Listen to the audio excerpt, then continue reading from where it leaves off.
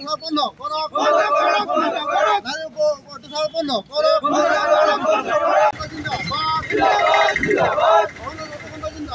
জিন্দাবাদ ঢেকিয়াজুলিত ত্ৰিপুৰী ধৰ্মৰ পিছতে উত্তাল হৈছে ঢেকিয়াজুলিত ঢেকিয়াজুলিত আৰ্চাৰ নেতৃত্বত যোৱা হৈছে বিশাল প্ৰতিবাদী সমদল আৰ্চাকে ধৰি কেইবাটাও জাতীয় ঢেকিয়াজুলিত যি কাণ্ড সংঘটিত হৈছিলে সোমবাৰে ইয়াৰ প্ৰতিবাদত দিয়াৰ দাবীত ঢেকিয়াজুলিত কেইবাটাও উলিয়াইছে প্ৰতিবাদী সমদল মাজভাট কাণ্ডৰ পিছতে ঢেকিয়াজুলিত সংঘটিত হৈছে যোৱা এগৰাকী ধৰ্ষণ কৰা হৈছিলে আৰু ইয়াৰ পিছতে এজাহাৰৰ আৰক্ষীয়ে আহ, অভিযুক্তক গ্ৰেপ্তাৰ কৰিছে আৰু ইয়াৰ পিছতে দেখা গৈছে ঢেকিয়াজুলিত বিভিন্ন ছাত্ৰ সংগঠনে উলিয়াইছে। প্ৰতিবাদী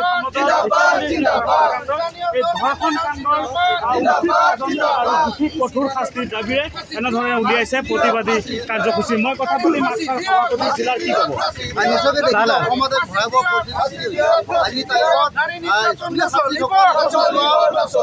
নিৰাপদ নহয় টিউচনলৈ যোৱাটো নিৰাপদ নহয় আজি তেহেঁতসকলে স্কুললৈ গৈ বা টিউচন গ'লে ঘূৰি আহোঁতে খুব কষ্ট কৰিলে উত্তম মানসিকতা ঘূৰি আহিব নে? তাত সন্দেহ এটা সৃষ্টি হৈ গৈছে। এটা ভয়াৱহ পৰিৱেশ সৃষ্টি হৈছে। প্ৰকৃত মাজবাট মাজবাটত ছাত্ৰী লৈ এগৰাকী টিউচন গৈ যোৱা অৱস্থাতে দৰ্শন কৰা হ'ল। আৰু সেই ঘটনা মাজতে আমাৰ হৈছে।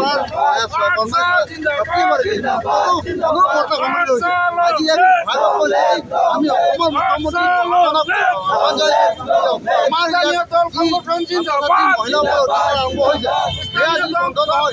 ঘৰত মহিলাসকল ওলাব নোৱাৰে পৰিৱেশ কৰিছে আমি আহ্বান জনাইছোঁ সেইসকল নৰপিচাচক সেইসকল নৰপিচাচক গাৰ্জেনসকল যিসকলৰ সকলে বিশেষকৈ নাৰী আৰু যুৱতীৰ ওপৰত টাৰ্গেট কৰি লৈছে সেইসকলে ইয়াৰ পৰা যাতে আঁতৰি থাকে।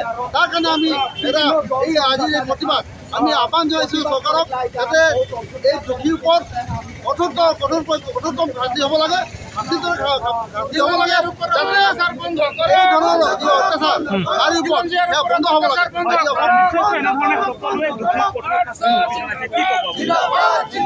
নাৰকীয় যি কাণ্ড হৈছে এই আমি অসম জাতীয়তাবাদী যুৱ ভাষাৰে গৰিহণা জনাইছোঁ সহজনজনী ছাত্ৰ সন্থাৰ আজিৰ এই প্ৰতিবাদী কাৰ্যসূচীত আমি উপস্থিত থাকি আমি প্ৰশাসনক দাবী উত্থাপন কৰিছোঁ যে ধৰ্ষণকাৰী কাণ্ডত যিসকল জড়িত যিসকল দোষী এই দোষীক কঠোৰতম কঠোৰ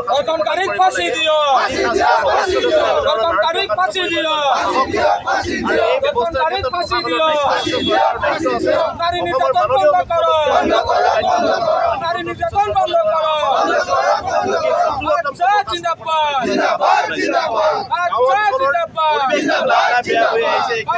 জিন্দাবাদ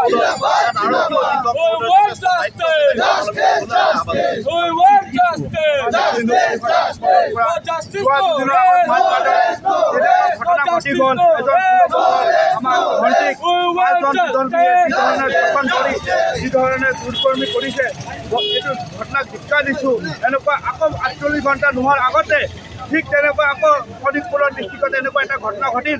এনেকুৱা ঘটনা বাৰম্বাৰ হৈ আছে। মই প্ৰশাসনক আৰু মুখ্যমন্ত্ৰীক মই আহ্বান জনাই আছোঁ যে এনেকুৱা এটা আইন ব্যৱস্থা কৰক যাতে দুষ্কৃতিয়ে এইবিলাক কাম কৰিব কাৰণে ভাবিব আৰু চিন্তা কৰিব। নিশ্চয়কৈ ইয়াত আৰু কিছু লোক আছে আমি তেওঁলোকৰ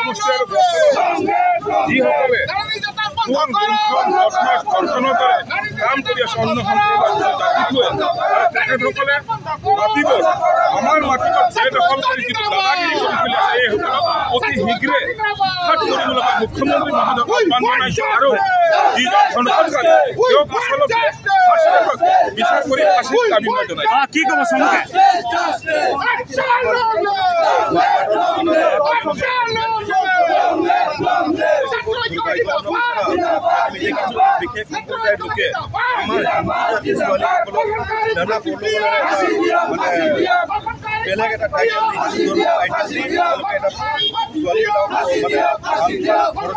এটা যিটো ধৰ্ষণ কাৰ্যসূচী আছে এইটো এটা বহুত পৰিণামৰ বিষয় যোৱাকালি আমাৰ